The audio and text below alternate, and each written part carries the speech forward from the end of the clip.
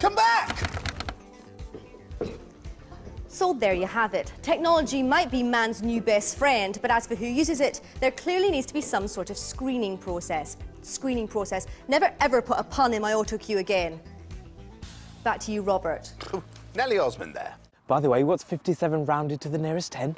Um, 60. And don't even think about squirting that thing at me. My hair's waterproof anyway. This is Nellie Osmond reporting for DNN. It's back to you, Robert. But this year, Hannah has some competition. 19-year-old Bree Thompson may be new to the cheese-chasing circuit, but I heard she was introducing training methods that might also revolutionise the whole sport. So go on then, what's your secret?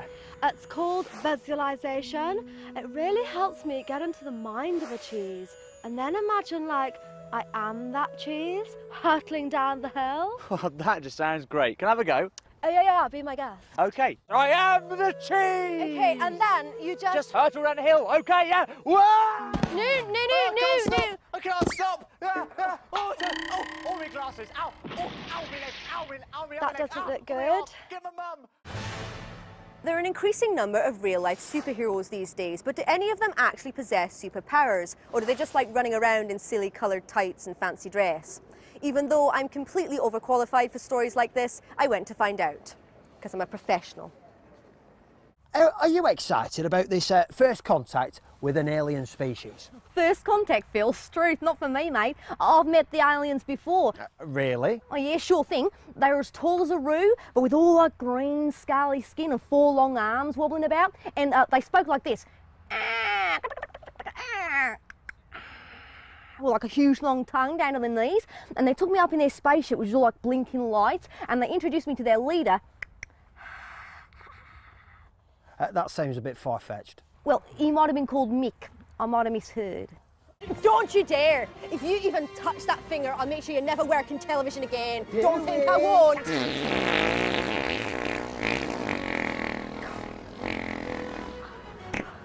Oh, don't say I didn't warn you. What are you doing? Uh, hugging? No? Oh, oh, uh, man, man down! Man down! Hang on, hang on, hang on! We're all coppers. I'm not.